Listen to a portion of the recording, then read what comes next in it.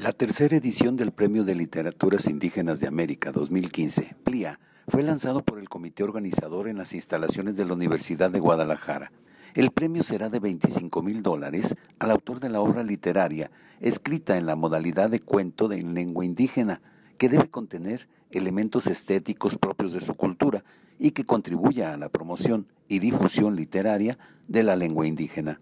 En el acto estuvieron presentes el doctor Héctor Raúl Solís Gadea, director del Centro Universitario de Ciencias Sociales y Humanidades de la Universidad de Guadalajara, el doctor Gerardo Mejía Pérez, rector del CUC Norte, el maestro Javier López, director del Instituto Nacional de Lenguas Indígenas, y el maestro Gabriel Pacheco Salvador, presidente de la comisión organizadora del PLIA e investigador de la Universidad de Guadalajara. Al hacer uso de la palabra, el maestro Gabriel Pacheco aseguró que las lenguas indígenas, además de olvidadas, caen en desuso. Escuchemos al maestro Salvador Pacheco.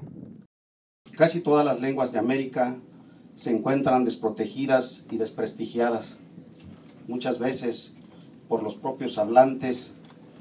Muchos de ellos creen que por el simple hecho de hablar una lengua minoritaria diferente al castellano, lo sentenciará a la pobreza.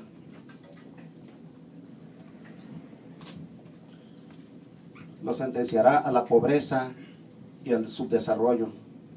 De tal manera que no se hace uso público de la lengua materna o enseñarla a los hijos.